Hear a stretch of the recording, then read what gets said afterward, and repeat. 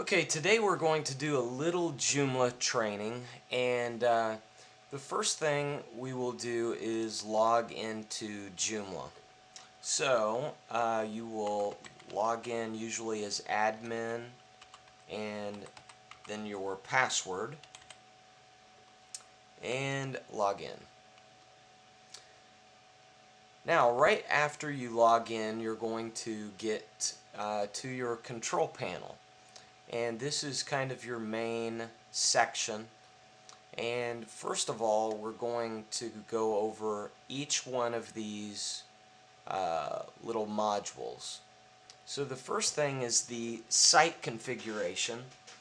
And under here we have global configuration uh, language manager media manager preview statistics template manager trash and user manager mainly you're not going to have to mess with this unless you want to use the preview which is very handy to view your website um, without opening up a, uh, a, another Internet Explorer and having to type the, the address in. Uh, this is a uh, website we're starting to do for catastrophe claims in Joomla and what I will show you here is uh, first our user manager. And uh, we're going to skip over all of these because uh, you will not have to to mess mess with those. But for your user manager uh, you can have a login for each and every uh, person in your company or uh, for outside of your company to view different areas of the website. So we are going to first create a uh, little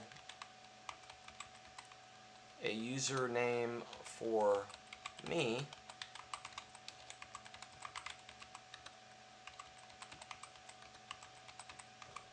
and you can make uh, different users have different permissions. Uh, I am going to make myself a publisher which allows me to publish content onto the website after it's been approved by a uh, administrator. And I'm going to save this. Now we've got me as a user and we'll get into uh, uh, logging in with this user uh, username and password later. Now the uh, main thing you will have on your site is your main menu. So that is under menu and main menu. And you can see these are all our main menu items in the site. So if I go to site and preview, you'll see what I mean here as how our main menu matches up with our menus in the menu manager.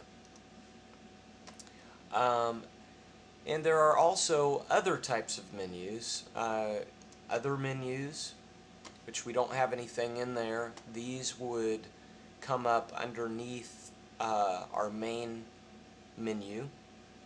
We have our top menu. And our top menu is here. Home, Contact Us, News, and links. Also have our user menu. Our user menu shows up after you have logged in using the username and password I created earlier. So when I log in, I can now see my user menu.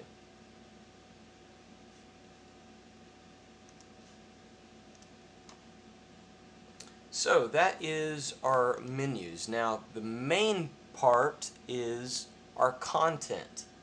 And before you can post anything to the web, you have to first have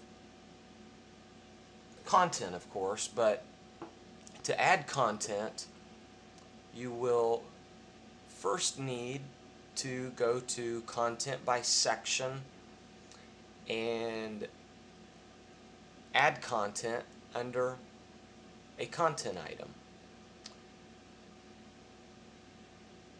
Our section manager um, are our main main parts of the website. Uh, what we will do in this case is we're going to uh, add a new section. Uh, this is for our content.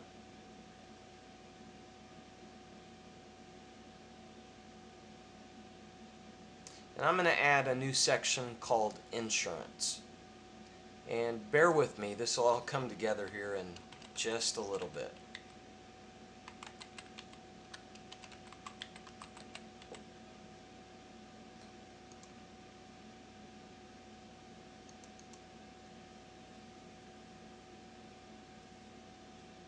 and I'm going to save this